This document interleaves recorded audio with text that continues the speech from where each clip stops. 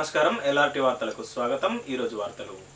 రాజన్న సిరిసిల్ల జిల్లాలో మంత్రి కేటీఆర్ ఈరోజు పర్యటించారు. మొదటగా ఉద్యోగార్థుల కోసం నిర్వహిస్తున్న బీసీ స్టడీ సర్కిల్ సందర్శించారు. స్టడీ సర్కిల్లో శిక్షణ పొందుతున్న అభ్యర్థులకు స్టడీ మెటీరియల్ అందించారు. ఈ సందర్భంగా మంత్రి శిక్షణ పొందుతున్న అభ్యర్థులను ఉద్దేశించి మాట్లాడారు. చేసి మరి మీకోసం ఫెసిలిటీ ప్రొవైడ్ చేస్తాము మొన్ననే గౌరవ ముఖ్యమంత్రి గారు మీరు చూసే ఉంటారు పేపర్లలో. కొత్తగా మరొక నూట ముప్పై నాలుగు స్టడీ సర్కిల్ కూడా మంజూరు చేసి ముఖ్యంగా మరి రాష్ట్ర వ్యాప్తంగా అందరికీ కూడా ఏర్పాటు చేసిన దానికి కూడా వారి హృదయపూర్వక ధన్యవాదాలు తెలియజేస్తాం. అయితే మీకు తెలిసి ఈ మెటీరియల్లో చాలా రకాల విషయాలు ఉంటాయి చాలా రకాల సమాచారం ఉంటాయి. కానీ మనం తెలుసుకోవాల్సిన ముఖ్యమైన పాయింట్ ఏంటి అంటే తెలంగాణ రాష్ట్ర ఏర్పాటు జరిగి సరిగ్గా ఎనిమిదేళ్ళు అయింది జూన్ రెండు రెండు వేల పద్నాలుగు నాడు తెలంగాణ రాష్ట్రం ఏర్పడింది. మరి తెలంగాణ రాష్ట్ర ఏర్పాటు అనేది నిజానికి నీళ్ళు నిధులు నియామకాలు. ఈ మూడింటి ప్రాతిపదికనే తెలంగాణ రాష్ట్ర ఏర్పాటు జరిగింది. ఈ మూడింట్లో తెలంగాణ ఆనాడు ఉమ్మడి ఆంధ్రప్రదేశ్లో నష్టపోతున్నది. ఇప్పుడే వెంకటస్వామి గారు చెప్పినట్టు కొలువులు రావడం లేదు ఇబ్బంది అవుతుందన్న ఉద్దేశంతోనే మనం ప్రత్యేక రాష్ట్రాన్ని సాధించుకుంటున్నాం.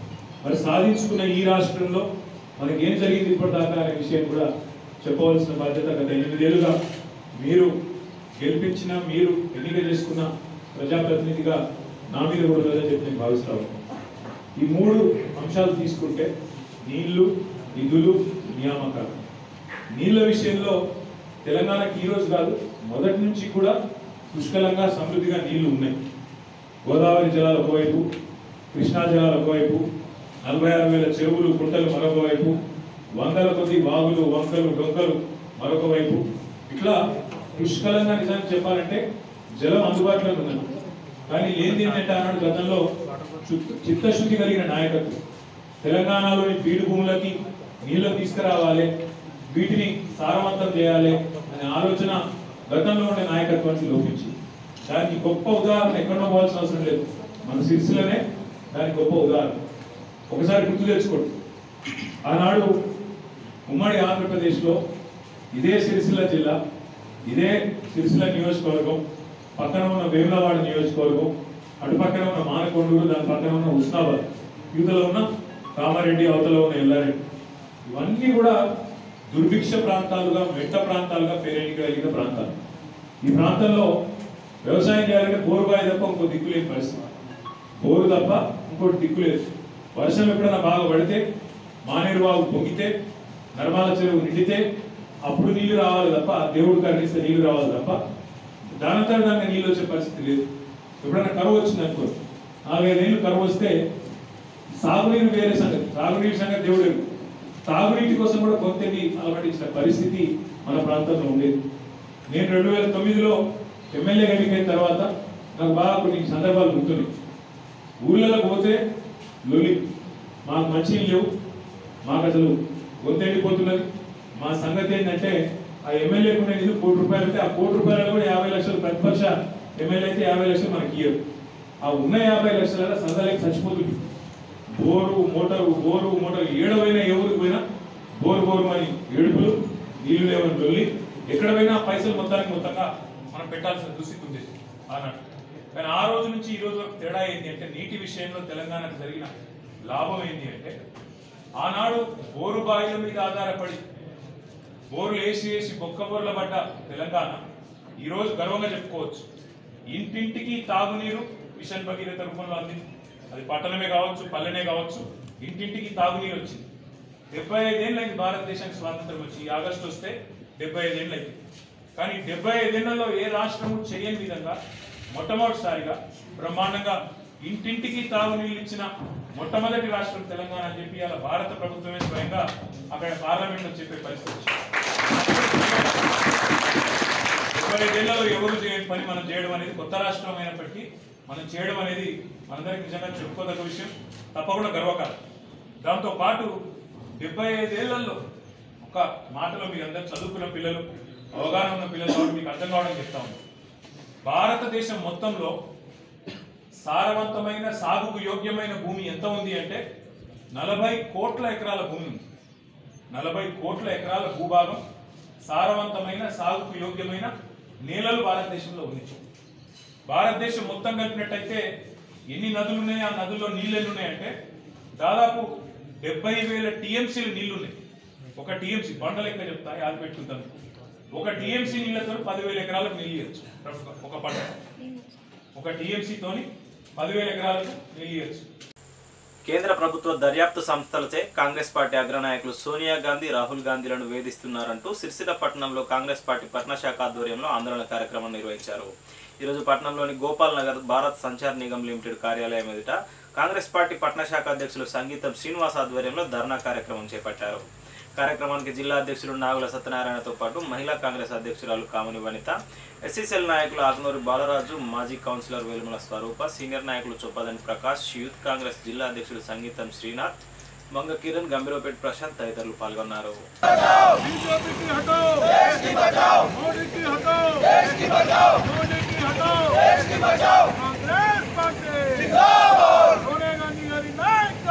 వర్దిల్లాలి बीजेपी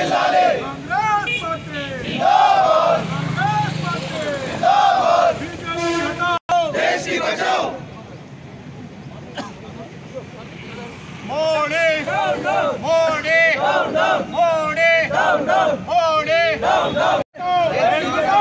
बातें जिंदाबाद अंग्रेज बातें जिंदाबाद बीजेपी हटाओ देश की हटो देश देश की बचाओ मोदी की हटाओ देश की बचाओ जिंदाबाद कांग्रेस पार्टी जिंदाबाद कांग्रेस पार्टी जिंदाबाद कांग्रेस पार्टी जिंदाबाद मोदी गांधी नायकत्व అధినేత్రి శ్రీమతి సోనియా గాంధీ గారు అలాగే పార్లమెంట్ సభ్యులు మాజీ అఖిల భారత కాంగ్రెస్ పార్టీ అధ్యక్షురాలు రాహుల్ గాంధీ గారి యొక్క అంటే ఈ భారతదేశంలో కాంగ్రెస్ పార్టీ దినదినాభివృద్ధికో అన్ని రాష్ట్రాల ప్రజలు భారతదేశం యొక్క మన్ననలు పొంది మళ్ళీ కాంగ్రెస్ పార్టీ అధికారంలో వస్తున్నటువంటి భయాందోళనలో ఈ యొక్క కేంద్ర ప్రభుత్వం బీజేపీ పాలిస్తున్నటువంటి ఈ బీజేపీ ప్రభుత్వం చేస్తున్నటువంటి దమనకాండను ప్రజలందరూ గమనించి మూట ముల్లే చదువుకొని పోయేటువంటి పరిస్థితి వచ్చింది అనేటువంటి భయోందాల భయోందోళనలో ఇలా ఈ దేశ ప్రధానమంత్రి మోడీ గారు కానీ అలాగే హోమ్ మినిస్టర్ అమిత్ షా గారు ఈ యొక్క బీజేపీ అగ్రనాయకత్వం అందరూ కూడా ఒక కుట్ర పన్ని మా అధినేత్రి సోనియా గాంధీ గారి పైన రాహుల్ గాంధీ గారి గారి పైన ఈడీ అనేటువంటి ఈ కేంద్ర ప్రభుత్వం యొక్క కాపలా కుక్కను ఇలా ఉసిగొల్పి ఇలా ఈడీ నోటు నోటీసులు ఇవ్వడం జరిగింది. సోనియా గాంధీ యొక్క నెహ్రూ గాంధీ నెహ్రూ గారి యొక్క ఒకసారి ఆ పరంపర చూసుకుంటే మోతీలాల్ గారు కానీ జవహర్లాల్ నెహ్రూ కానీ ఆ తర్వాత వచ్చినటువంటి ఇందిరాగాంధీ గారు కానీ తర్వాత రాజీవ్ గాంధీ గారు కానీ సోనియా గాంధీ గారు కానీ స్వాతంత్రానికి ముందు కానీ స్వాతంత్రం తర్వాత కానీ వారికి భారతదేశాన్ని ఒక ఎన్నో ఏళ్ళు ఏలేటువంటి సంపదను ఇవాళ భారతదేశం కోసం అర్పించినటువంటి ఘనత ఉన్నటువంటి ఆ కుటుంబం. ఇలా ఏ యొక్క మనీ లాండరీ కోసమో లేకుంటే దేనికో ఆశపడేటువంటి వ్యక్తులు కాదు అలాంటి ఆశ లేదు. మనకు ఉదాహరణ మూడు సార్లు సోనియా గాంధీ గారికి ప్రధానమంత్రి పదవి చేసేటువంటి అవకాశం ఉన్నా విడిచిపెట్టుకొని చైర్పర్సన్గా ఉన్నది. అలాగే రైట్ టు ఇన్ఫర్మేషన్ యాక్ట్ తీసుకొచ్చి ఎంత చిన్నవాడైనా ఇలా ఎటువంటి పరిస్థితులు కూడా ఏ యొక్క విషయాన్ని తెలుసుకోవాలన్నా ఈ రైట్ ఇన్ఫర్మేషన్ యాక్ట్ ప్రకారం తెలుసుకో తెలుసుకోవచ్చు అనేటువంటి ఆ యొక్క జీవోని తీసుకొచ్చింది ఇలా సోనియా గాంధీ గారు. రెండు సార్లు ప్రధానిగా అవసరం అవకాశం ఉన్నా కూడా ఇంకా విద్యార్థిని అయినటువంటి ఉద్దేశంతో రాహుల్ గాంధీ గారు అటువంటి అవకాశాన్ని తీసుకొని ఈ విధమైనటువంటి పదవుల మీద ఆశ లేకుండా ధనం మీద ఆశ లేకుండా ఈ భారతదేశ దేశం యొక్క సేవనే ముఖ్యంగా వస్తున్నటువంటి ఆ కుటుంబాన్ని ఇలా వాళ్ళను ఎందరో ఇలా రాహుల్ గాంధీ రాజీవ్ గాంధీ గారు కానీ ఇందిరాగాంధీ గారిని కానీ పుట్టలు పెట్టుకున్నా కూడా ముక్కబోని ధైర్యంతో ఈ యొక్క భారతదేశ ప్రజల కోసం సేవ చేసేటువంటి పరిస్థితి ఉన్నటువంటి ఆ కుటుంబం మీద ఇలా మొత్తం భారతదేశంలో బీజేపీ ప్రభుత్వం ఒక దమనకాండ నీతిని ప్రజలు గమనిస్తూ ఉన్నారు. ఈ యొక్క బీజేపీని బొందబెట్టే పరిస్థితి వచ్చిందనేటువంటి ఒకటే ఒక ఉద్దేశంతో ఈడీ అనేటువంటి కుక్కలను ఈ యొక్క నోటీసులు ఇచ్చి సోనియా గాంధీ గారి మీద రాహుల్ గాంధీ గారి మీద ప్రవహించడం ఇది శోచనీయకరమైనటువంటి విషయం. అలాగే ఇవాళ ఏనాడు నేషనల్ హెరాల్డ్ అనేటువంటి ఈ యొక్క వీళ్ళు మనాలా మనీ లాండరింగ్ అని చెప్తున్నటువంటి ఈ యొక్క వ్యవస్థను ఏనాడో క్లీన్ చిట్ ఇచ్చింది. ఈ క్లీన్ చిట్ ఇచ్చినటువంటి వ్యవస్థను మళ్ళీ తీసుకొచ్చి మళ్ళీ ఈడీ నోటీసులు ఇవ్వడం ఇది ఘోరమైనటువంటి తప్పిదం. అలాగే ఏనాడో పన్నెండు సంవత్సరాలకి ఇలా గోద్రాలలో నాలుగు వందల మందిని పొట్టను పెట్టుకున్నటువంటి ఇలా మోడీ అమిత్ షాకు ఇలా వీళ్ళ ప్రభుత్వంలో క్లీన్ చిట్ ఇచ్చింది. ఎన్నో వేల మంది పొట్టను పెట్టుకున్నటువంటి ప్రభుత్వం దమన నీతిని దమనకాండ చేస్తున్నటువంటి బీజేపీ ప్రభుత్వం. కానీ కాంగ్రెస్ పార్టీ అధినేతలు కానీ కాంగ్రెస్ పార్టీ చరిత్రలో ఏనాడు కూడా ఏదో స్కామ్లకో పైసలకో ఆశపడి కాదు. జీవితాన్ని దారదత్తం చేసి అలాగే ప్రాణాలను దారదత్తం చేసేటువంటి కుటుంబం ఇలా రాహుల్ గాంధీ గారి సోనియా గాంధీ గారి గారి గారి. అటువంటి వారిపై ఈ నోటీసులు ఇవ్వడం భారతదేశాలందరూ కూడా గమనిస్తూ ఉన్నారు. భారతదేశం ప్రజలందరూ కూడా. అలాగే ఈ రేడు రాష్ట్ర కాంగ్రెస్ పార్టీ రద్ద సారథి రేవంత్ రెడ్డి గారు ఇచ్చినటువంటి పిలుపు మేరకు. అక్కడ రాష్ట్రంలో అలాగే ఇవాళ జిల్లా కాంగ్రెస్ పార్టీ అధ్యక్షుడు సద్దనిచ్చినటువంటి పిలుపు మేరకు ఇక్కడ ఉన్నటువంటి పో పూర్తి అన్ని మండలాలలో అలాగే ఈరోజు పట్టణంలో ఈ యొక్క బీజేపీ దమన నీతికి నిరసనగా ఇలా కేంద్ర ప్రభుత్వ ఆఫీస్ ముందు ఈ యొక్క నిరసన కార్యక్రమం చేపట్టడం జరిగింది. ఖబర్దార్ బీజేపీ నాయకులారా మీరు కులం మీద మతం మీద ఎన్నో ప్రాంతీయ తత్వాల మీద ఇలా పొగబెట్టి ప్రజలను ఘోరమైనటువంటి పరిస్థితులు తీసుకెళ్తా ఉన్నారు. ముందున్నది ప్రజలందరూ కూడా గమనిస్తూ ఉన్నారు. మళ్ళీ వచ్చే ఎన్నికల్లో కాంగ్రెస్ పార్టీకి పూర్వభయం వచ్చేటువంటి అవకాశం ఉన్నటువంటి భయాందోళనతో ఈ కార్యక్రమం చేపడుతున్నది. ఖబర్దారాని ఈ యొక్క నిరసన కార్యక్రమం బీజేపీ దమననీతకి నిరసనగా ఈ కార్యక్రమం చేపట్టడం జరిగింది. ఏఐసిసి అధ్యక్షురాలు సోనియా గాంధీ పిలుపు మేరకు అదేవిధంగా మన రాష్ట్ర అధ్యక్షులు రేవంత్ రెడ్డి గారి పిలుపు మేరకు ఈరోజు రాజన్న సిరిసిల్ల జిల్లా అధ్యక్షులు నాగల సత్యనారాయణ గారి ఆధ్వర్యంలో మరి ఈడీ కేసు ఈడీ పెట్టినటువంటి కేసును రద్దు చేసుకోవాలి. ఎందుకంటే మేమందరం కూడా ఏకకంఠంతో అడుగుతున్నాం. ఎందుకంటే మీరు మీరు ఏలుతున్నటువంటి రాష్ట్రాలలో ఎంతో మందిని చంపడం జరిగింది. మీ బీజేపీ ప్రభుత్వంలో మరి ఎస్సీలం కానీ బీసీలం కానీ చంపడం జరిగింది. మేము ఒకటే మాట మాట్లాడుతున్నాము. ఏదైతే ఈడీ కేసు ఉన్నదో ఆ ఈడీ కేసుని రద్దు చేసుకోవాలని చెప్పి తెలియజేస్తున్నాము అదేవిధంగా మరి ఈడీ కేసు అనేది చేసినటువంటి ఇప్పుడు ఎవరై ఎవరిపైన అయితే సోనియా గాంధీ రాహుల్ గాంధీపై పెట్టిందో ఆ పె ఆ పెట్టినటువంటి కేసును వెనకకు తీసుకోవాలని చెప్పి కోరుతూ అదేవిధంగా మరి మీరు చేసినటువంటి మోసాలు ఎన్నో ఉన్నాయి. ఇక్కడ ఉన్నటువంటి జాతీయకరణ బ్యాంకులను జాతీయకరణ చేసినటువంటి మా ఇందిరాగాంధీ ఇందిరా గాంధీ గారు అదేవిధంగా వాళ్ళందరూ చేసినటువంటి ఏవైతే బ్యాంకులు ఆ బ్యాంకులన్నీ కూడా మీరు రద్దుపరిచి మరి ప్రైవేటీకరణ చేస్తున్నారు కాబట్టి మీకు కూడా ఇక ముందు రాబోయే కాలంలో మీకు బుద్ధి చెప్పేటటువంటి కాలము ఆసన్నమైందని చెప్పి తెలియస్తున్న మోడీ గారు. ఇప్పటికైనా గుంజి తెచ్చుకొని మరి మా మా మేడంపై మా రాహుల్ గాంధీపై పెట్టినటువంటి కేసులను వెనుకకు తీసుకోవాలని చెప్పి మొన్న రాహుల్ గాంధీ గారిపై ఈడీ నోటీసులు. నిన్న మా అఖిల భారత కాంగ్రెస్ పార్టీ అధ్యక్షురాలు త్యాగాల కుటుంబం నుంచి వచ్చిన మా అధ్యక్షురాలు వారిని వేధింపులకు ఏదైతే ఈడీ నోటీసులు ఇచ్చి మోడీ ఖబర్దార్ బీజేపీ ప్రభుత్వాన్ని కేంద్ర ప్రభుత్వాన్ని హెచ్చరిస్తున్నాం. ఎప్పుడు కక్షపూరితమైన ధోరణి అవలంబించుడు నీ నైజంగా ఉంది. ఇప్పటి దేశ పరిస్థితి ఏమి జిఎస్టీ పెడుతుంది పెట్రోల్ ధర పెరుగుతుంది డీజిల్ ధర పెరుగుతుంది గ్యాస్ ధర పెరుగుతుంది. ఇవన్నీ ఇవన్నీ నీకు పడతలేవు రూ జిఏ ఇప్పుడు డాలర్ విలువ రూపాయి ఎనభైకి వచ్చింది ఏ దాకా తీసుకుపోతావు దేశాన్ని? ఏ ఆర్థిక పరిస్థితిని ఏ దాకా తీసుకుపోతావు? వీటి మీద కేంద్రీకరిస్తలేవు నీ దృష్టిని. కక్ష సాధింపులు. ఎలక్షన్లు రాగానే ఒక దుకాణం పెడతాం. దీనికి డైవర్షన్ చేయాలి? ఒకటి వేసేస్తాం. అన్నట్టు దాన్ని పట్టుకొని ఉంటారు. ఇవన్నీ మర్చిపోతారు ప్రజలని. తర్వాత హెచ్చరిస్తున్నాం భారతీయ జనతా పార్టీ నీ మో ప్రధానమంత్రి మోడీ గారిని. నిన్న రాష్ట్ర అధ్యక్షుడు నిన్ననే నిన్ననే మా హైదరాబాద్లో రాష్ట్ర వ్యాప్తంగా ఒక కార్యక్రమం ఈడీ కార్యక్రమం వ్యతిరేకంగా ఏదైతే కార్యక్రమం ర్యాలీ చేపట్టిండ్రో దాంట్లో ఒక పిలిపించిండు. పర్సనల్గా చూసుకుందామా? రామ్లీలా మైదానం కట్టావా ఆడ చూసుకుందాము. కానీ నువ్వు అధికారంలో ఉన్నావు ప్రభుత్వంలో ఉన్నావు. నువ్వు చేయాల్సిన పనులు చేయి. ఎందుకు? ఇవన్నీ ఇలా ప్రజలు పేద ప్రజలు బలహీన వర్గాలు బడుగు బలహీన వర్గాల ప్రజలు ఏం ఫేస్ చేస్తున్నారు ఎంత దూరం ముందు తీసుకెళ్తున్నావు? వంద రూపాయలు వంద పది వంద. ఆరు వందల యాభై పన్నెండు వందల యాభై గ్యాసు. పొమ్మంటావా ప్రజలను? దేశం విడిచిపెట్టి పొమ్మంటావా? దాని పరిపాలన. దీనికి డైవర్షన్గా ఒక కార్యక్రమం. ఈ కాంగ్రెస్ వాళ్ళకు మా అధినేత్రి మీద మా ఊళ్ళ మీద వచ్చింది అరే త్యాగాల కుటుంబం ప్రాణాలు ఇచ్చిండ్రు ఆస్తులు ఇచ్చిండ్రు. దేశ ప్రజలకు నిలవాలనుకుంటున్నావా ఇది తాత్కాలికమైన కక్ష నీకు ఏదో కుటుంబం నాది ఏదో నువ్వు తాత్కాలికంగా నువ్వు ఆ, నవ్వుకోకనుకో పర్యాసానికో దానికి వణుకత్తది. అంతే తప్ప దేశ ప్రజలందరూ ఇవాళ కాంగ్రెస్ వైపు సోనియా గాంధీ గారి వైపు ఆ కుటుంబం వైపు చూస్తూ ఉన్నది. ఇక చెల్లవు నీ ఆటలు చెల్లవు. రా తెలంగాణలో రాష్ట్ర కాంగ్రెస్ అధ్యక్షుడు రేవంత్ రెడ్డి గారి నాయకత్వంలో అడుగు అడుగుకు నిన్ను అడ్డుకుంటాం. అడుగు అడుగుకు నిన్ను తరిమి కొట్టామని చెప్పి హెచ్చరిస్తున్నాం.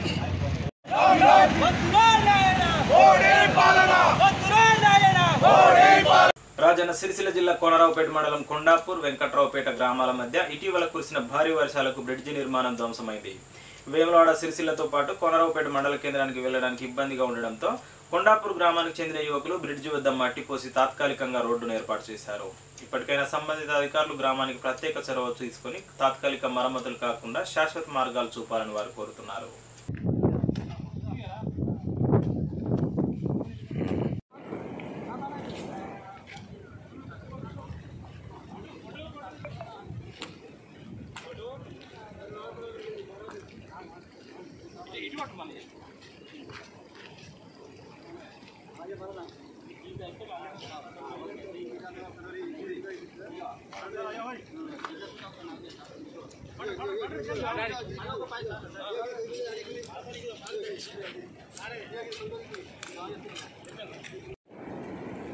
కొండాపూర్లో ఇటీవల కురిసిన భారీ వర్షాలకు వెంకట్రావుపేట కొండాపూర్ మధ్యలో పెట్టిన గల బ్రిడ్జి తెగిపోవడం జరిగింది.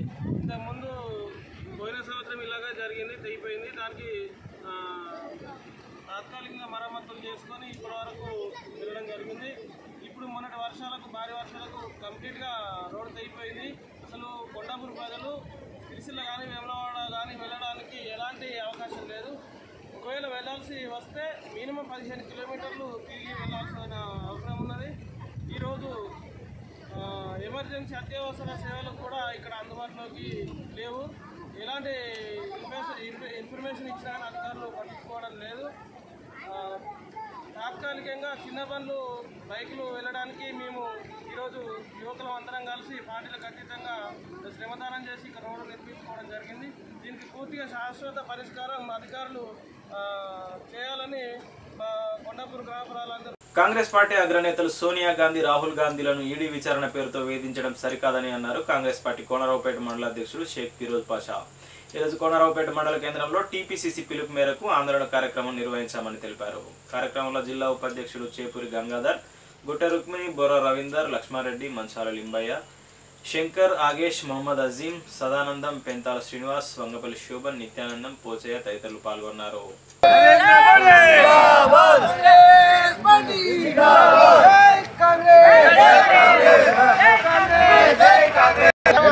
నిన్న జరిగినటువంటి సోనియా గాంధీ గారిని అన్యాయంగా ఈడీ ఆఫీస్కు పిలిపించినట్టు తరుణంలో కోనరావుపేట మండలంలో కాంగ్రెస్ పార్టీ కార్యకర్తలు నాయకులు అందరి మధ్యలో ఈడ రస్తారోక జరగ చేయడం జరిగింది.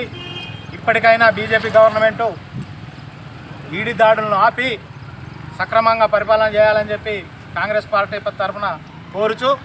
మరియు మీరు చేసేటువంటి పనులు గ్యాస్ సిలిండర్ కానీ నిత్యావసరాలకు వస్తువులకు అవసరం పడేటి పెట్రోల్ కానీ సిలిండర్ ధరలు కానీ ఇవన్నీ పెంచి కార్పొరేటు ప్రజల్ని ఇబ్బంది పెట్టవద్దు ప్రజల్ని ప్రజల్ని ఇబ్బంది పెట్టకుండా పరిపాలన సాగించాలని చెప్పి కోరుచు. జై కాంగ్రెస్. ఈరోజు రాష్ట్ర నాయకత్వం పిలుపు మేరకు ఇలా కేంద్ర పాలనలో ఇవాళ ఒక్క పని కూడా చేయలేనటువంటి నరేంద్ర మోడీ గారు ఇవాళ ఆమె ఈ భారతదేశానికి తల్లి లాంటి సోనియమ్మను ఇవాళ ఈడీ ఆఫీస్కి పిలిపేయడం ఎంతవరకు సమంజసమని అడుగుతున్నాం. నరేంద్ర మోడీ దిగుబడింది నీ సమయం దగ్గర పడ్డది. నీకు దగ్గర పడ్డది కాబట్టి ఇలాంటి తప్పుడు వ్యవహారాలు వ్యవహరిస్తున్నావు. ఇంకా నువ్వు ఈ భారతదేశాన్ని ఇంకేం దోపిడీ చేసుకుంటావు? రైతులను ముంచుతున్నావు. తర్వాత మహిళలు మహిళలు అన్నావు. మహిళల సిలిండర్ ధరలు పెంచినావు. యువతరానికి పెట్రోల్ డీజిల్ ధరలు పెంచినావు. ఇలా శ్మశానంలో కనీసం జిఎస్టి శ్మశాన వాటికలను కూడా చచ్చిపోయిన సేవల మీద కూడా జిఎస్టిని నువ్వు ప్రకటించి వసూలు చేస్తున్నావు. దొంగ నువ్వు లంగవా? నీలాంటి దొంగ లంగ ప్రభుత్వం కూల్చే రోజులు దగ్గరికి వస్తున్నాయి. ఇవాళ సోనియమ్మను బేసరిగా తప్పు చెప్పి సోనియమ్మను మీరు ఎంటన్నా మీరు ఆమె మీద దాడులు ఆమెను నిర్బంధించడము ఎంటన్నా ఆపుకోకపోతే ఈ భారతదేశంలో కాంగ్రెస్ కార్యకర్తలు ఒక సైన్యం లాగా నీ ప్రభుత్వాన్ని కూల్చేంత వరకు కూడా మేము నిద్రపోమని హెచ్చరిస్తా ఉన్నాం. జై కాంగ్రెస్! ఏదైతే బీజేపీ ప్రభుత్వం కాంగ్రెస్ అధినాయకురాలు సోనియా గారిని సోనియా గాంధీ గారిని ఈడీ విచారణకు పిలిపించి వారిని కించపరిచినట్టు మేము భావించి అలాగే వాళ్ళ ఆత్మ విమర్శలు చేసుకోవాలి బీజేపీ ప్రభుత్వం. ఇన్ని రోజులు ఏంది? ఇప్పుడు ఈడీ విచారణ ఏంటిది? అంటే కాంగ్రెస్ పార్టీ చేస్తున్న పనులను చూసి ప్రతిపక్షాలు ఉండి మేము చేస్తున్న పనులను చూరవలేక వారిని ఈడీ విచారణతో ఏదో భయభ్రాంతులకు గురి చేయాలనుకుంటారు కానీ కాంగ్రెస్ పార్టీ కార్యకర్తలు కానీ నాయకురాలు కానీ నాయకులు కానీ ఎవరికి భయపడకుండా ఎట్టి పరిస్థితుల్లో ఈ విచారణను ఎదుర్కొని ఇందులో మేము పైచేయి అధికంలో ఉంటాం పైచేయి సాధిస్తామని చెప్పి మేము కోరుకుంటూ అలాగే రాష్ట్ర పిలుపు మేరకు మేము మా కోనరాపేట కాంగ్రెస్ పార్టీ పక్షాన ఈడీ విచారణ ఏదైతుందో దాన్ని తక్షణమే నిలిపి నిలిపి నిలిపివేయాలి. అలాగే బహిర బహిరంగంగా క్షమాపణ చెప్పాలి సోనియా గాంధీ గారికి. వారు తెలంగాణ తెలంగాణ తల్లి మా సోనియా గాంధీ గారిని ఈడీ విచారణ పిలిపివ్వడం హేళనగా అనిపిస్తుంది మాకైతే. ఎందుకంటే వీరు చేస్తున్న ఏదైతే కాంగ్రెస్ పార్టీ చేయబట్టి వాళ్ళకు వణుకు పుడుతుంది బీజేపీ ప్రభుత్వానికి. బీజేపీ ప్రభుత్వం ఏం చేసింది? ఈ ఏడెనిమిది సం- ఏడెనిమిది సంవత్సరాలలో డీజిల్ పెట్రోల్ ధరలు గ్యాస్ ధరలు అలాగే ఇప్పుడు నిత్యావసరాల సరుకుల మీద కూడా జిఎస్టీ అని చెప్పి శవాలు కాల్చే శ్మశాన వాటికల పైన కూడా జిఎస్టీ అని పెంచి రాష్ట్ర ప్రణాళిక సంఘం ఉపాధ్యక్షులు బోయినపల్లి వినోద్ కుమార్ జన్మదిన వేడుకలు బోయినపల్లి మండలంలో ఘనంగా నిర్వహించారు. కార్యక్రమంలో తెరాస రాష్ట్ర నాయకులు జోగిలపల్లి రవీందర్ రావు పాల్గొని మొక్కలు నాటారు. బోయినపల్లి మండల కేంద్రంలో జరిగిన కార్యక్రమంలో ప్రజాప్రతినిధులు కేక్ కట్ చేసి వేడుక జరిపారు. అనంతరం వారు మీడియాతో మాట్లాడారు.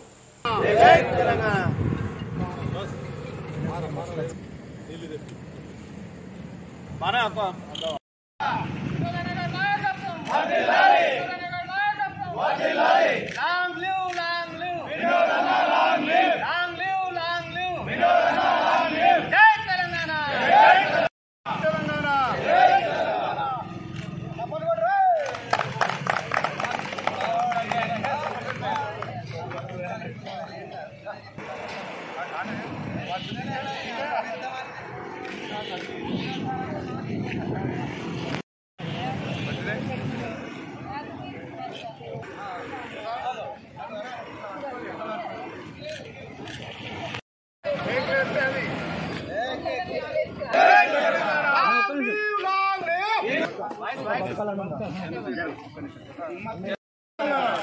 live, long live. Vinodana, long live. Long live, long live. Vinodana, long live. Long live, long live. Vinodana, long live. Vinod-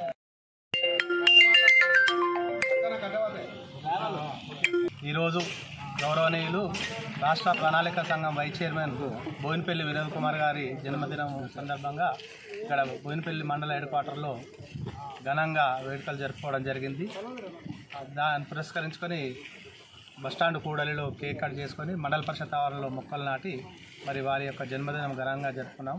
ఇటు కార్యక్రమానికి నా మండలంలోని ప్రజాప్రతినిధులు సర్పంచులు ఎంపీటీసీలు మరియు ఇతర ప్రజాప్రతినిధులు టీఆర్ఎస్ కుటుంబ సభ్యులు అందరూ బతుక సంఖ్యలో హాజరై ఈ యొక్క పుట్టినరోజు వేడుకలను నిర్వహించడం జరిగింది విజయవంతం చేయడం జరిగింది. మరి వినోద్ కుమార్ గారు మన తెలంగాణ రాష్ట్ర సమితి పార్టీ ఏర్పడ్డ నుంచి మన గౌరవనీయులు కేసీఆర్ గారి వెన్నంటే ఉండి మరి అప్పటి నుంచి పార్లమెంట్లో కూడా మరి ముప్పై మూడు పార్టీల యొక్క ఏకాభిప్రాయం తీసుకొని ఢిల్లీలో మరి నిరంతరంగా కృషి చేసినటువంటి వ్యక్తి. మరి వారి సేవలు మన తెలంగాణ రాష్ట్ర సాధనలో ఎన్నో రకాలుగా మనం ఉపయోగించుకున్నాం కాబట్టి వారు మన భవిష్యత్తులో కూడా మన తెలంగాణ రాష్ట్రానికి మన గౌరవ ముఖ్యమంత్రి వర్యులు బంగారు తెలంగాణ సాధించే దిశగా వారి యొక్క తోడ్పాటు కూడా ఇప్పటికి కూడా వారు అందిస్తున్నారు. భవిష్యత్తులో కూడా వారి సేవలు మన రాష్ట్రానికి వినియోగించుకొని మన ప్రజలకు అందుబాటులో ఉండే విధంగా ఉండు ఉండాలని కోరుకుంటూ అదా అలాగే మరి ఇంకా భవిష్యత్తులో ఎన్నో ఇంకా ఉన్నత పదవులు చేపట్టాలని ఆ భగవంతుని కోరుకుంటూ జిల్లాలోని పలు అంశాలపై మంత్రి కేటీఆర్ కలెక్టరేట్ కార్యాలయంలో ఏర్పాటు చేసిన మీడియా సమావేశంలో మాట్లాడారు. ఇటీవల సిరిసిల్ల పట్టణంలో చర్చనీయాంశమైన కొండ లక్ష్మణ్ బాపూజీ విగ్రహ ప్రతిష్టాపనపై జిల్లా కలెక్టర్ అధ్యక్షతన కమిటీ వేస్తున్నట్లు స్పష్టం చేశారు. అనంతరం అధికారులతో సమీక్షా సమావేశం నిర్వహించారు. కేంద్ర ప్రభుత్వమే ఏ నివేదిక విడుదల చేసింది ఏ అంశంపైన విడుదల చేసినా కాదనలేని సత్యం కాదనలేని వాస్తవం ఏమంటే తెలంగాణ రాష్ట్రం ఒక అగ్రశ్రేణి రాష్ట్రం. భారతదేశంలోనే మిగతా రాష్ట్రాలకి ఆదర్శప్రాయమైన రాష్ట్రమని అని నివేదికలు చెప్తాం. దానికి తాజా తాజా ఉదంతమే నిన్న నీతి ఆయోగ్ వారు ఇన్నోవేషన్ ఇండెక్స్లో భారతదేశంలోని ఇరవై ఎనిమిది రాష్ట్రాలు భారతదేశంలోని కేంద్రపాలిత ప్రాంతాలు యూనియన్ టెరిటరీస్ని వాటి ర్యాంకులు ఇస్తే బెస్ట్ పర్ఫార్మింగ్ స్టేట్గా తెలంగాణ నెంబర్ వన్ ర్యాంక్ సంపాదించుకోవడం అనేది మనందరికీ గర్వకారణం. ఓవరాల్గా నెంబర్ టూ ర్యాంకు బెస్ట్ పర్ఫార్మర్గా నెంబర్ వన్ ర్యాంక్ తెలంగాణకు రావడం అనేది మనందరికీ గర్వకారణం. ఇప్పుడు తెలంగాణ ఈ రంగం ఆ రంగం కాదు అన్ని రంగాల్లో సమతుల్యమైన సమ్మిళితమైన అభివృద్ధి సాధిస్తూ నవీనమైన ఆవిష్కరణలు నూతనమైన విధానాలతో ముందుకు పోతున్న విషయం కూడా మీకు తెలుసు.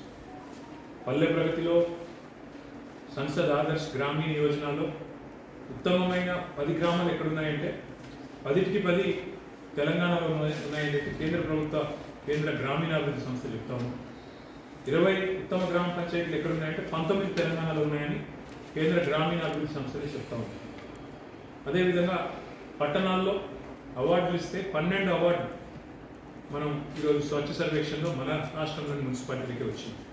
మరొక వైపు పర్యావరణం పెరుగుతున్నది ఏడు పాయింట్ ఏడు శాతం మన రాష్ట్రంలో గ్రీన్ కవర్ పెరిగిందని కేంద్ర ప్రభుత్వమే చెప్తుంది. ఇంకోవైపు అదే కేంద్ర ప్రభుత్వం పారిశ్రామికీకరణలో కూడా తెలంగాణ దూసుకుపోతున్నదని వాళ్ళే కితాబిస్తారు. ఒకవైపు ఐటీ ఎగుమతులు దాదాపు రెండు వందల నలభై ఎనిమిది శాతం పెరిగినాయి. యాభై ఏడు వేల కోట్ల నుంచి లక్ష ఎనభై మూడు వేల కోట్లకి ఐటీ ఎగుమతులు పెరిగినాయని అదే కేంద్ర ప్రభుత్వం చెప్తున్నది ఇంకోవైపు వ్యవసాయంలో కూడా తెలంగాణ దూసుకొని పోతున్నది. నూట పంతొమ్మిది శాతం తెలంగాణలో వ్యవసాయ విస్తరణ జరిగిందని చెప్పి కేంద్ర ప్రభుత్వం లెక్కలు చెప్తా ఈ రకంగా ఒక సమతుల్యమైన అభివృద్ధి అభివృద్ధి సంక్షేమం పట్టణ ప్రగతి పల్లె ప్రగతి వ్యవసాయం ఇంకోవైపు ఐటీ ఎగుమతులు మరొక వైపు పరిశ్రమ ఇంకోవైపు పర్యావరణం. ఇట్లా ఏ రకంగా చూసుకున్నా ఒక అద్భుతమైన నమూనాని తెలంగాణ ఈరోజు భారతదేశం ముందు ప్రవేశపెట్టి ముందుకు పోతాం ఇది నేను చెప్తున్న మాట కాదు కేంద్ర ప్రభుత్వం చెప్తున్న మాట. భౌగోళికంగా తెలంగాణది పదకొండవ స్థానం భారతదేశం. జనాభా పరంగా పన్నెండవ స్థానం ఇరవై ఎనిమిది రాష్ట్రాల్లో పన్నెండవ స్థానం. కానీ భారతదేశానికి కాంట్రిబ్యూషన్లో భారతదేశ ఆర్థిక వ్యవస్థకి కాంట్రిబ్యూషన్లో భారత ఎకానమీకి కాంట్రిబ్యూషన్లో తెలంగాణ ర్యాంక్ నాలుగు. ఇది నా మాట కాదు నా కవిత్వం కాదు రిజర్వ్ బ్యాంక్ ఆఫ్ ఇండియా చెప్తున్నమాట మరి పరిస్థితులు ఇట్లా ఉంటాయి ఒకవైపు ఇవాళ తెలంగాణ భారతదేశానికే అన్నం పెట్టే రాష్ట్రాలలో నాలుగో స్థానానికి ఎదిగి ఈరోజు బీజేపీ పాలిత రాష్ట్రాలైన ఉత్తరప్రదేశ్ కానీ కర్ణాటక కానీ ఇంకో రాష్ట్రం కానీ ఇంకో రాష్ట్రం కానీ వాటికి ఈరోజు తెలంగాణ నుంచి నిధులు పోయి తెలంగాణ నిధుల వల్ల అక్కడ పనులు అయ్యే పరిస్థితి ఉంటే భారత జాతి నిర్మాణానికి తెలంగాణ దోహదపడుతుంటే ఇక్కడ కొంతమంది తెలంగాణ రాష్ట్రంలో మాత్రం కొంత తెలిసి కొంత తెలవక విడిమిడి జ్ఞానంతో నోటికి వచ్చినట్టు మాట్లాడుతాం పల్లె గోస అనే ఒక యాత్ర. జనం గోస అని మరో బాధ. తెలంగాణలో ఎక్కడ కూడా పల్లెలు గోసపడతలేదు నిజంగా చెప్పాలంటే భారతదేశంలో ఈరోజు కొత్తగా ఈరోజు రాష్ట్రపతి గారు అయినారు. శ్రీమతి ద్రౌపది ముర్ము గారు. ఇదే భారతీయ జనతా పార్టీకి సంబంధించిన గౌరవ ప్రధానమంత్రి గారు రెండు వేల పద్దెనిమిదిలో ప్రకటించిన. మొత్తం దేశంలోని అన్ని గ్రామాలకు కరెంట్ ఇచ్చామని చెప్పిన కానీ మొన్న వార్త వచ్చింది. ద్రౌపది ముర్ము గారు ఎప్పుడైతే వారి రాష్ట్రపతి అభ్యర్థిగా ఎంపికైందో అదే రోజు వాళ్ళ ఊరికి కరెంట్ వచ్చింది. ద్రౌపది ముర్ము గారి సొంత ఊరు ఒరిస్సా. ఆ రోజు వాళ్ళ ఊరికి కరెంట్ వచ్చింది. అంటే మాట ఎందుకు చెప్తా ఉంటే పల్లెలు గోసలు ఉన్నాయి పల్లె గోస పడుతుందంటే ఎక్కడ పడుతున్నాయి? మీ నాయకులు మీ ఘనా పార్టీలు లాంటి పెద్ద పెద్ద నాయకులు ఉన్న రాష్ట్రాల్లో మీకు గొప్పగా చెప్పుకునే మీ రాష్ట్రాల్లో పరిస్థితులు బాగాలేవు పల్లెలు బాగాలేవు ఈరోజు తెలంగాణలో ఉన్న పల్లెలు అత్యుత్తమమైన పల్లెలని కేంద్ర గ్రామీణ అభివృద్ధి శాఖనే చెప్తా ఉంది ప్రత్యేకంగా. దేశంలో ఆదర్శ గ్రామాలు ఎక్కడున్నాయంటే తెలంగాణలో ఉన్నాయని చెప్పి కేంద్ర ప్రభుత్వం లెక్కలు చెప్తా ఉంది. కాబట్టి ఇక్కడ ప్రజల్ని అమాయకులు అనుకొని వీరిని భ్రమ పెట్టవచ్చు భ్రమింపజేయవచ్చు రకరకాల మాటల గారడితోని గురిడి కొట్టించని కొట్టి కొట్టించవచ్చని ఎవరైనా అనుకుంటే వాళ్ళు అమాయకులు తప్ప తెలంగాణ ప్రజలు కాదు. తెలంగాణ ప్రజలు చైతన్యవంతులు. తప్పకుండా అన్ని రకాలుగా ఇట్లాంటి ఈ వ్యవహారం ఏదైతే ఉందో నోరుతో నవ్వుతూ నుసలతో ఎక్కిరిచే వ్యవహారం. ఇక్కడ తెలంగాణలో ఉంటూ కూడా తెలంగాణ గొప్పతనాన్ని గుర్తించకుండా తెలంగాణలో జరుగుతున్న మంచిని గుర్తించకుండా కేవలం సొంత రాష్ట్రాన్ని కూడా నిందించే దిక్కుమాలిన భావదారిద్ర్యం ఏదైతే ఉందో దీన్ని అందరూ కూడా ప్రజలు చూస్తూ ఉన్నారు. ఇది మంచిది కాదు. ఎందుకంటే మన రాష్ట్రాన్ని మనమే పది మందిలో బాగా జరుగుతున్న పనిని కూడా బాగా జరగట్లేదు చెప్పుకోవడం అంటే ఒక రకంగా తెలంగాణ ప్రజల్ని కూడా అవమానించినట్టు ఇది మంచిది కాదు. దయచేసి ఇప్పటికైనా ఈ విధానం మాట్లాడుకుంటే మంచిది. రెండవది తెలిసి తెలియక ఇంకో మాట మాట్లాడుతున్నాను మేమేదో ఇచ్చాము తెలంగాణకు అని మేమేదో ఇస్తున్నాం మేమేదో మెహర్బానీ చేస్తున్నాం మాట్లాడతాం వాస్తవం ఏమంటే మేము ఇదివరకు పదిసార్లు చెప్పాను మళ్ళీ ఒకసారి చెప్తాం. ఈ ఎనిమిదేళ్ళలో తెలంగాణ దేశానికి ఇచ్చింది ఎక్కువ దేశం తెలంగాణకి ఇచ్చింది తక్కువ. ఇది వాస్తవం. మూడు లక్షల అరవై ఐదు వేల ఏడు వందల తొంభై ఏడు కోట్లు. మూడు లక్షల అరవై ఐదు వేల ఏడు వందల తొంభై ఏడు కోట్లు తెలంగాణ నుంచి పన్నుల రూపంలో కేంద్రానికి పోయింది. కేంద్రం మనకి ఇచ్చింది లక్ష అరవై ఎనిమిది వేల కోట్లు. మేము ఈ జాతి నిర్మాణంలో తెలంగాణ పౌరులు తెలంగాణ ప్రజలు తెలంగాణ రాష్ట్రం భాగమని గర్విస్తున్నాం. ఈ ఈ జాతి నిర్మాణంలో తెలంగాణ పాత్ర ఉన్నందుకు గర్వపడుతుంది ఈ దేశంలోని వెనుకబడ్డ రాష్ట్రాల్లో తెలంగాణ చెమట తెలంగాణ రక్తం అక్కడ ఉపయోగపడుతున్నందుకు సంతోషపడుతుంది కానీ వాస్తవాలు ఇట్లా ఉంటే ఇది కూడా నా లెక్క కాదు. ఇది కూడా కేంద్ర ప్రభుత్వ లెక్కనే.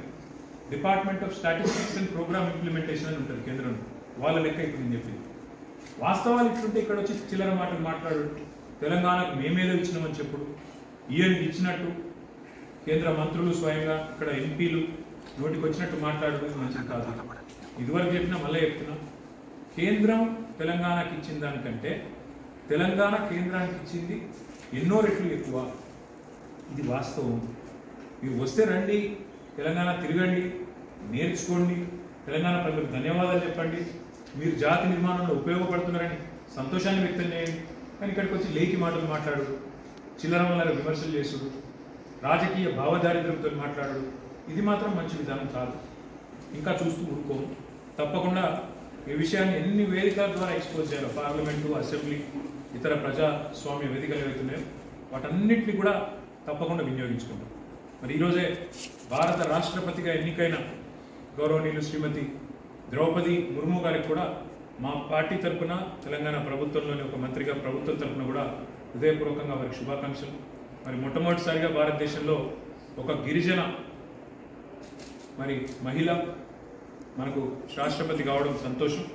మరి వారి నాయకత్వంలో తప్పకుండా కొన్ని మంచి పనులు జరుగుతాయని మేము ఆశిస్తాము అందులో ముఖ్యంగా మహిళా రిజర్వేషన్ బిల్లు. ఎప్పటి నుంచో మహిళలకు చట్టసభల్లో రిజర్వేషన్లు కల్పించాలనే బిల్లు పెండింగ్లో పడ్డది మూలలో పడ్డది.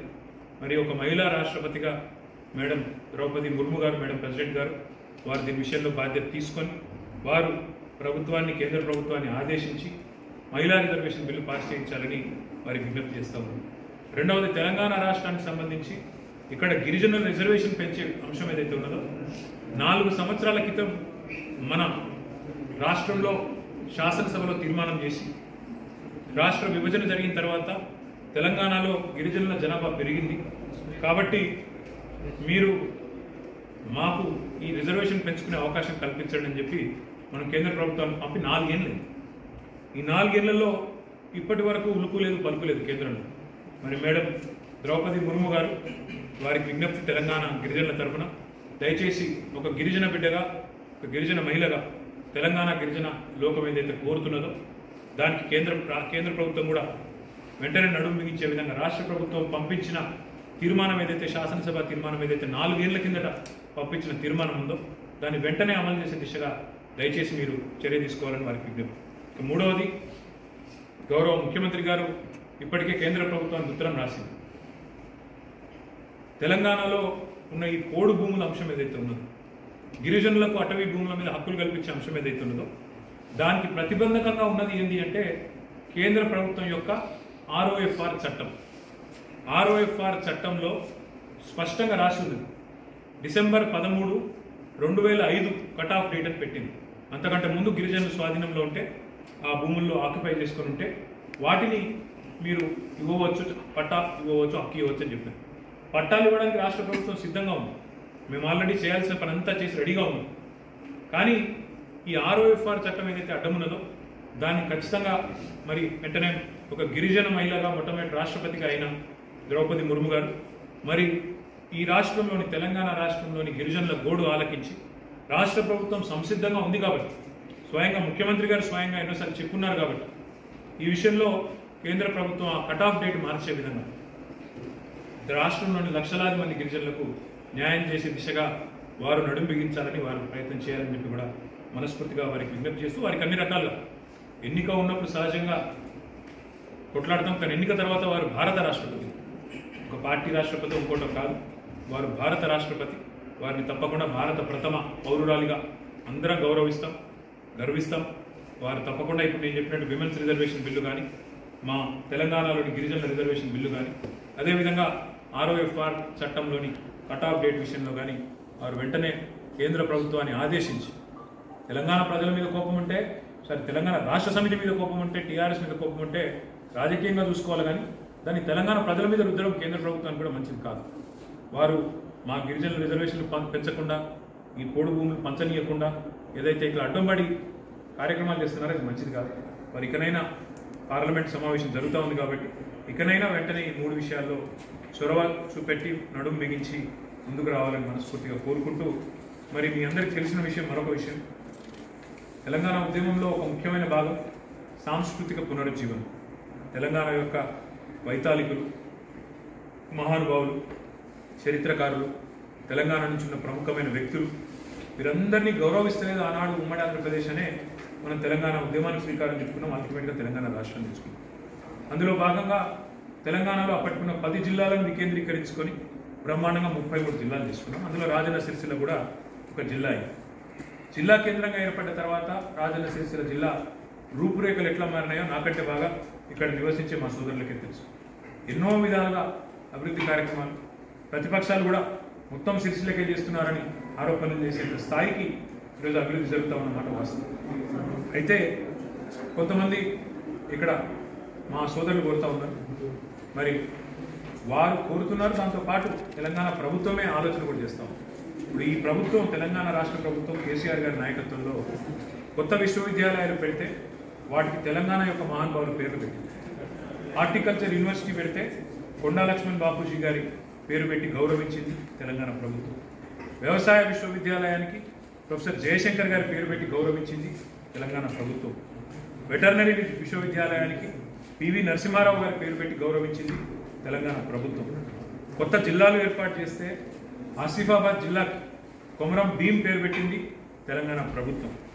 అదేవిధంగా జయశంకర్ భూపాలపల్లి జిల్లా అని పేరు పెట్టింది తెలంగాణ ప్రభుత్వం. అటు దేవుళ్ళని గౌరవించుకున్నాం ఇటు మన వైతాళికులని పెద్దవారిని కూడా గౌరవించుకున్నాం. అదే కోవలో అదే ఒరవడిలో తెలంగాణలోని మహానుభావులందరినీ కూడా గుర్తుంచుకునే విధంగా గౌరవించుకునే విధంగా నూట ఇరవై ఐదు ఫీట్ల అంబేద్కర్ విగ్రహాన్ని పెడుతున్నది తెలంగాణ ప్రభుత్వం. మమ్మల్ని ఎవరు అడగలేదు ఎవరు డిమాండ్ చేయలేదు పెట్టాలని చెప్పి నిలదీయలేదు. అన్నీ కూడా తనకు తాను ఎంతోమంది అధికారికంగా జయంతులు వర్ధంతులు గతంలో ఈశ్వరీబాయి గారిది కానీ భాగ్యారెడ్డి వర్మ గారిది కానీ కాకా వెంకటస్వామి గారిది కానీ ఎవరిది కూడా అల్లూరి సీతారామరాజు కానీ ఎవరిది కూడా అధికారికంగా చేయలే కార్యక్రమం కానీ ఇవన్నీ చేస్తున్నది తెలంగాణ ప్రభుత్వం. కాబట్టి నేను మా కలెక్టర్ గారికి కూడా విజ్ఞప్తి చేస్తా ఉన్నాను.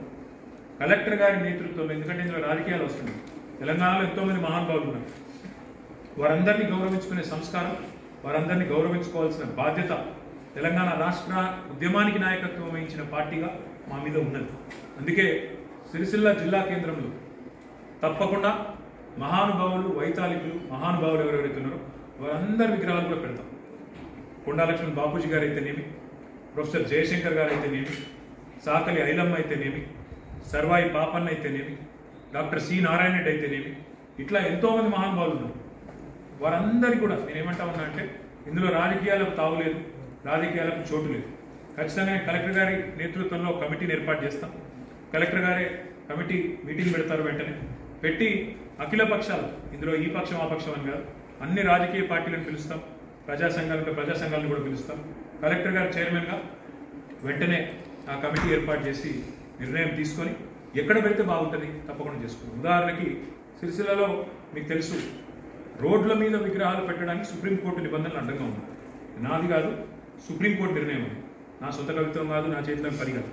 బట్ జంక్షన్ ఉదాహరణకి ఇక్కడ అంబేద్కర్ జంక్షన్ కానీ గాంధీ జంక్షన్ కానీ సుందరీకరించుకున్నాం. ఆల్రెడీ ఉన్న విగ్రహాలను సుందరీకరించుకున్నాం. మరి చుట్టుపక్కల కూడా మంచిగా మంచి ప్రశాంతమైన వాతావరణం ఏర్పాటు చేసి మంచిగా చేసుకొని బాగా చేసుకున్నాం. నేతన్న విగ్రహం చుట్టూ కూడా బాగా చేయాలని నన్ను ఎవరు అడగలేదు. నన్ను ఎవరు నాకు డిమాండ్ చేయలేదు దరఖాస్తు కూడా పెట్టలేదు కనీసం. నా అంతటా నేనే నేతన్న జంక్షన్ కూడా బాగా చేద్దామని కలెక్టర్ గారితో మాట్లాడి చేసుకుందాం. మనం మిగతా జంక్షన్ అంబేద్కర్ గాంధీ ఎట్లయితే చేసుకున్నామో నేతన్న జంక్షన్ కూడా అట్లా మంచిగా చేద్దాం అందంగా చేద్దాం. సిరిసిల్ల కూడా లేదు. సిరిసిల్ల అంటేనే టెక్స్టైల్ టౌన్. బాగా చేద్దామని చెప్పి కలెక్టర్ గారికి నేనే ఒక నెల రోజుల కిందట నేను చెప్పిన. కాకపోతే పక్కకు అమరవీరుల స్థూపం ఉంది అదే జంక్షన్ మరి అమరవీరుల స్థూపం అక్కడ ఉంది కదా అని అన్నప్పుడు మరి పోయి వచ్చిపోయేటలో కూడా ఇబ్బంది కావద్దు కదా అని అన్నప్పుడు అమరవీరుల స్థూపం అవసరమైతే ఇక్కడ కలెక్టరేట్ ముంగట రగుడు జంక్షన్లో పెట్టుకుందాం. పెట్టుకొని అమరవీరుల స్థూపం అక్కడి నుంచి తరలించి నేతన్న జంక్షన్ కూడా బాగా చేద్దాం. నేను కలెక్టర్ గారు అనుకున్నాను నా రిక్వెస్ట్ ఏంటంటే కలెక్టర్ గారితో నాకు ఈ విషయంలో ప్రత్యేకంగా ఏ ఎజెండా లేదు ఏ రకమైన అభ్యంతరం కూడా లేదు. ఎంతమంది మహానుభావుల విగ్రహాలు పెడితే అంత మంచిది. ఎందుకంటే భవిష్యత్ తరాలకు మన తెలంగాణ వారి గొప్పతనం తెలంగాణ నాయకత్వం యొక్క గొప్పతనం తెలవడం దాని ఉద్దేశం. కొత్త చెరువు కట్టుకున్నాం. కొత్త చెరువు సుందరీకరించుకున్నాం. ట్యాంక్ బండ్ మీద పెట్టినట్టు కొత్త చెరువు బండ్ మీద విగ్రహాలు పెడదామంటే అట్లయినా నాకు అభ్యంతరం లేదు. లేదా ఇంకా కొత్త జంక్షన్లు వస్తున్నాయి. అక్కడ పెట్టుకుందామంటే నాకు అభ్యంతరం లేదు. కొన్ని జంక్షన్లో వద్దు. పక్కకి ఎక్కడైనా ఒక వన్ ఎకర్ టూ ఎకర్స్ తీసుకొని ఒక పార్క్ పెడదాం. ఆ పార్కు నిండా మంచిగా బ్రహ్మాండంగా మహానుభావుల విగ్రహాలు పెట్టి ఒక్కొక్కరిని గౌరవంగా గర్వంగా మంచిగా సన్మానించుకుందామంటే నాకు అభ్యంతరం లేదు. ఎందుకంటే ఎంతోమంది మహానుభావులు ఉన్నారు ఈ ప్రాంతం నుంచి. వారందరిని ఒకప్పుడు ఎమ్మెల్యేగా ఉన్నప్పుడు ఒక మాట కూడా ఇచ్చున్నాం. అగ్గిపెట్టెలో పట్టే చీరను నేసిన నల్లా పరంధాముల విగ్రహం కూడా పెడతామని చెప్పినాం. నాకు బాగా గుర్తుంది. అది కూడా పెడతాం. ఒక వీరువారం కాదు గొప్పగా మహానుభావులను సంస్కరించుకోవాల్సిన సన్మానించుకోవాల్సిన వారిని స్మరించుకోవాల్సిన బాధ్యత మన సంస్కారాన్ని వ్యక్తం చేసుకోవాల్సిన బాధ్యత ఈ తరం మీద ఉంది. కాబట్టి తప్పకుండా మహానుభావుల విగ్రహాలు పెడతాం. వారందరికీ కూడా స్థానం కల్పిస్తాం. మరి ఆ లిస్టు కూడా నేనేమి నా పాత్ర అందులో ఏముండదు. కలెక్టర్ గారి నాయకత్వంలో అన్ని రాజకీయ పార్టీలు మన జిల్లా పరిషత్ చైర్మన్ గారు ఉంటారు మున్సిపల్ చైర్మన్ ఉంటారు అన్ని జిల్లా పార్టీల అధ్యక్షులు ఉన్నారు. అందరు మీటింగ్ పెట్టండి. కలెక్టర్ గారి నాయకత్వంలో డిసైడ్ చేయండి. డిసైడ్ చేసిన తర్వాత అన్నీ కూడా ప్రభుత్వ ఖర్చుతోనే విరాలు పెడతాం. అది కూడా చెప్తున్నాను. ప్రభుత్వ ఖర్చుతో మున్సిపల్ ప్రమాణం ఖర్చుతోనే పెడతాం. ఇంకొక మాట కూడా నేను హామీ ఇస్తా ఈ మధ్యన కొన్ని కొన్ని వివిధ రకాల కులాలకి వారు ఇక్కడ మేము ఆత్మగౌరవ భవనాలు కట్టుకుంటామంటే కొన్ని స్థలాలు కేటాయించడం జరిగింది. మా పద్మశాలి సోదరులకి స్థలం కేటాయించుకున్నాం. రెడ్డి సోదరులకి స్థలం కేటాయించుకున్నాం. మిగతా కమ్యూనిటీలు వాళ్ళు కూడా అడుగుతా ఉన్నారు.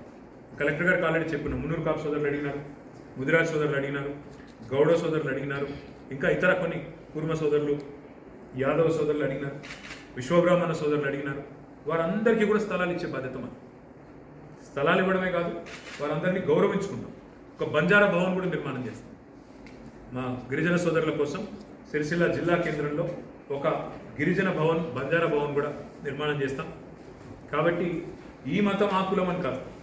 అన్ని మతాలు అన్ని కులాలు మహానుభావులు వారికి కులం మతంతో సంబంధం లేకుండా అందరినీ స్మరించుకొని వారందరినీ గౌరవించుకునే ఒక సంస్కారవంతమైన ప్రభుత్వం మాది కాబట్టి తప్పకుండా ఈ కార్యక్రమాలు చేస్తామని చెప్పి తెలియజేస్తూ మరి దానికి కలెక్టర్ గారి నేతృత్వంలో కమిటీని అపాయింట్ చేస్తాం. కలెక్టర్ గారు వెంటనే వచ్చే వారంలోనే సమావేశాలు కూడా పెట్టి. దీనిలో ఎవరో ఆందోళన పడి ఎవరో మీటింగ్లు పెట్టుకొని హడావుడు చేసిన అవసరం కూడా లేదు. ఎందుకంటే ఇది ఎవరో మీరు డిమాండ్ చేస్తేనే ఇంకోరు చేస్తేనే కాదు. ప్రభుత్వానికి ఆ సంస్కారం ఉంది కాబట్టి ఇవన్నీ చేసింది ఇదివరకే. యూనివర్సిటీలో పేర్లు పెట్టినప్పుడు మమ్మల్ని ఎవరు డిమాండ్ చేయలేదు. మహానుభావుల వర్ధంతులు జయంతులు చేసినప్పుడు మమ్మల్ని ఎవరు డిమాండ్ చేయలేదు. ఇవన్నీ మేము మా ఏంగానే ప్రభుత్వంగానే ప్రజల మనసు తెలిసిన ప్రభుత్వంగా చేసిన కార్యక్రమాలు. జిల్లాలకే పేర్లు పెట్టిన వాళ్ళు. కాబట్టి ఈ విషయంలో నేను అందరినీ కూడా సంయమనం పాటించి కలెక్టర్ గారితో కూర్చొని ఒక అందరితో సంప్రదించి మీటింగ్ పెట్టి నిర్ణయం తీసుకోమని చెప్పి కోరుతూ మళ్ళొకసారి మీ అందరికీ. ఈ వార్తలు ఇంతటితో సమాప్తం. తిరిగి ప్రసారమయ్యే ఎలాంటి వార్తలు మళ్ళీ కలుసుకుందాం. అంతవరకు సెలవు. నమస్కారం.